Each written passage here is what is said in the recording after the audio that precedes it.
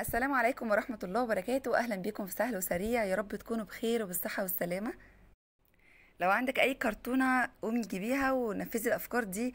حلوة جدا جدا هتعجبك وهتقومي تنفذيها حالا. أفكار سهلة وسريعة ومن غير تكاليف. أول فكرة معانا بس إن إحنا هنجيب الكرتونة ونبتدي إن إحنا نقشر الطبقة الخارجية بتاعتها آه، ونبتدي إن إحنا نقص الأول المساحة اللي إحنا عاوزينها ونلفها رول. باخد المقاس آه، بتاع الدايرة دي من تحت وعلى كرتونة كده وابتدي إن أنا أقص نفس المساحة بالظبط بحيث إن أنا تبقى دي القاعدة بتاعت الكرتونة.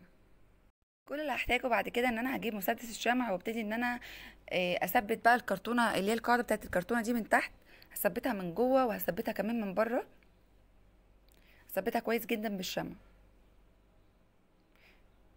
طبعا بتكون متينة على فكرة جدا وبعد ما تنشف ما تقلقوش منها خالص. أنا بنظم فيها أدواتي كلها وحلوة قوي. بجيب بقى بعد كده دهان لاكيه أبيض وببتدي إن أنا بجيب إسفنجة كده صغيرة وببتدي إن أنا أدهن آه، من بره البوكس ده من بره وأوصل لكل الفراغات آه، بحيث إن إن هي تاخد كلها اللون الأبيض.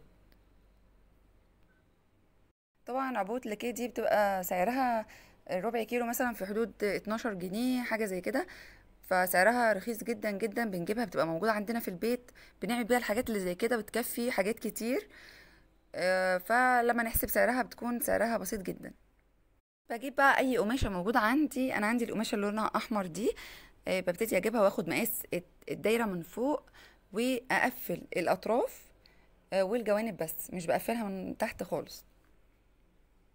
أي نوع قماش ينفع قماش ملايات قماش طرح قديمة أي حاجة تنفع. لون ال box هيكون لونه أبيض فهيمشي معاه أي لون. بطنت بقى كده برضو كرتونة صغيرة عشان أحطها من جوه تكون القاعدة من جوه وتكون كمان تشد القماش كويس قوي بوردات بسيطة كده ببتدي أزينها وبلولي حاجات simple خالص والوردات دي أنا عملتها قبل كده هسيب لكم الرابط بتاعها تحت في ال description. وردات سهلة قوي انزلوا بقى حطوا like بسرعة على الفكرة الحلوة دي وسيبوا لي comment برأيكم وكمان اقتراحاتكم.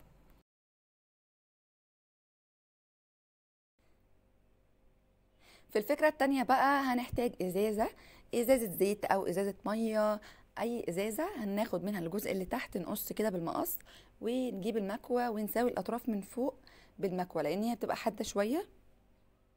أنا عاوزة أقول لكم هنعمل فكرة حلوة قوي قوي قوي إيه الأفكار بقى دي مش هتلاقوها غير هنا وبس في سهل وسريع. وهنجيب كرتونة ونقشرها بنفس الطريقة بالظبط عشان تظهر الطبقة اللي تحت وكمان نلفها رول. بنبتدي كده ناخد مقاس آه، الإزازة من تحت كده ونبتدي نقص نفس المقاس بتاعها بالظبط على الكرتونة ونبتدي نثبتها بالشمع ونلفها حول نلف الكرتونة حوالين الإزازة بالشمع ونثبتها كويس قوي. كلها أفكار سهلة وسريعة جدا نقدر ننفذها في البيت بكل سهولة. زي ما أنتم شايفين قطعة كرتون وشمع ودهان حاجات بسيطة جدا جدا. أنا عملت كملت الشكل النهائي بتاعي بالكرتون. هحتاج بقى قطعة أسفنج صغيرة والدهان الأبيض بتاعي. أنا حبيت إن أنا أعملها لونها بينك فهحط نقطتين من اللون البينك على اللون الأبيض. هيدينا اللون ال pink آه، أو نقطتين آه، حسب مثلا الدرجة اللي إحنا محتاجينها. لو حابين نزود درجة ال pink هنحط آه، كمية أكبر من اللون الأحمر. اللون الأحمر هو اللي بيدينا ال pink مع اللون الأبيض. طبعا على قد ما أقدر بحاول إن أنا أوصل الفراغات كلها بتاعة الكرتون. الأجزاء الداخلية والخارجية بتاعه الكرتونة والفها من كل مكان. بعد ما تنشف بقى ببتدي إن أنا أزينها بالحاجات الموجودة عندي في البيت. أي دانتيل مثلا أنا موجود عندي هنا آه، خيط الخيش فهبتدي إن أنا أزين بيه. حبيت بقى إن أنا أضيف لها كده لمسة خاصة وحطيت لها عيون وشفايف كمان عشان تبقى مبتسمة. وفيونكايه كده وردة أي حاجات كل ما نضيف حاجة كل ما تديها لمسة جمالية أحلى. هنبتدي بقى إن إحنا نحط جواها فل ونستخدمها بقى كديكور حلو جدا جدا. إيه بتمنى تكون الفكرة دي عجبتكم ولو لسه ما حطيتوش لايك انزلوا حطوه بسرعة. هنا في الفكرة دي بقى اللي هي الفكرة الثالثه حبيت إن هي تكون بسيطة أكتر وسهلة أكتر. فاستخدمت فيها قماش. القماش ده كان موجود عندي في البيت نقدر نستخدم قماش ملايات أو قماش طرح قديمة هيبقى حلو جدا جدا. أنا كانت عندي القماشة دي فحبيت إن أنا أستغلها. والكرتونة ببتدي إن أنا آه، أغلف الكرتونة بقى من كل الاتجاهات ومن جوه ومن بره وكل المكان بالقماش. يعني في الفكرة دي كل اللي احتاجه قماشة وكرتونة قديمة ومسدس شمع وهنعمل الفكرة حلوة جدا. على قد ما أقدر المرة دي حاولت إن أنا أجمع لكم أفكار بسيطة كده وسهلة آه، حاجات غير مكلفة خالص. وكمان نقدر نغير بيها ديكور البيت وننظم بيها الأرفف.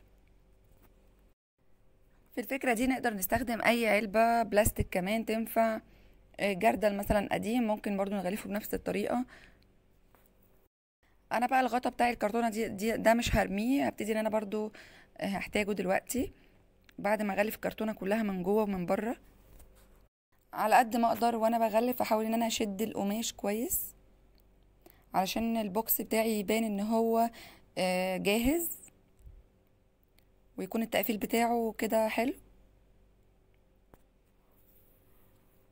كان في جزء بقى كده باقي مش متغلف فقصيت جزء من القماش كده صغير وغلفت بيه ما بيبقاش باين خالص. هيكون ده الظهر بتاع ال box.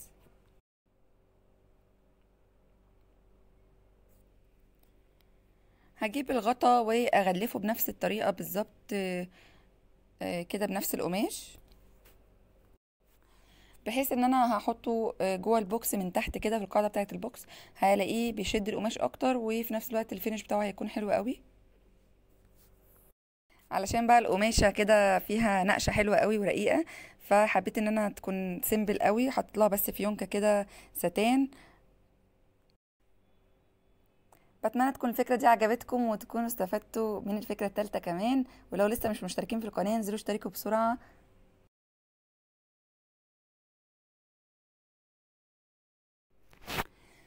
في الفكرة الرابعة بقى آه، هنحتاج بس كرتونة. أي كرتونة تنفع؟ أنا ح- اخترت كرتونة مربعة. آه، كرتونة زيت أو كرتونة شيبسي أظن دي متوفرة جدا. ويفضل إن هي تكون كرتونة متينة شوية علشان تقدر تتحمل معانا. بتني الأطراف بتاعتها كده لجوه آه، مش. مش هقصها خالص. وهبتدي إن أنا أجيب الدهان بتاعي والإسفنجة وابتدي أدهن كده بالراحة. طبعا أنا بحب أدهن بالإسفنجة لأن الفرشة بتعمل علامات كده آه، خطوط على ال- الكرتون. فالإسفنجة بتبقى السطح بتاعها أحلى كتير من الدهان بالفرشة.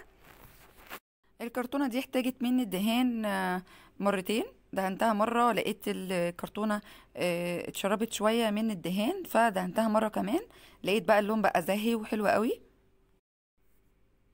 طبعا بسيبها تنشف تماما تماما. ومن جوه بقى هبتدي إن أنا أعمل لها كسوه داخلية. فبعد ما تنشف كويس قوي هبتدي إن أنا أجيب قماشة آه، وأعمل كسوه داخلية للكرتونة. باخد طبعا مقاس الكرتونة من فوق وأقفل الجوانب وأقفل الأطراف وحابين نقفل من تحت بنقفل. بتبقى ط- طريقتها سهلة جدا. على فكرة القماشة لونها حلوة قوي بس الت- التصوير هو اللي ظالمها شوية. هي لونها كده off white في آه، خطوط أبيض في أسود.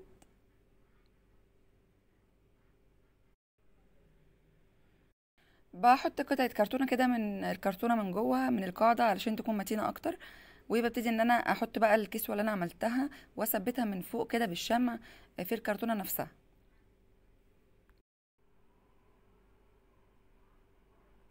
التزيين بقى ده حسب ما نحب نزينها بنزينها على ذوقنا بطريقة كده سيمبل حلوة.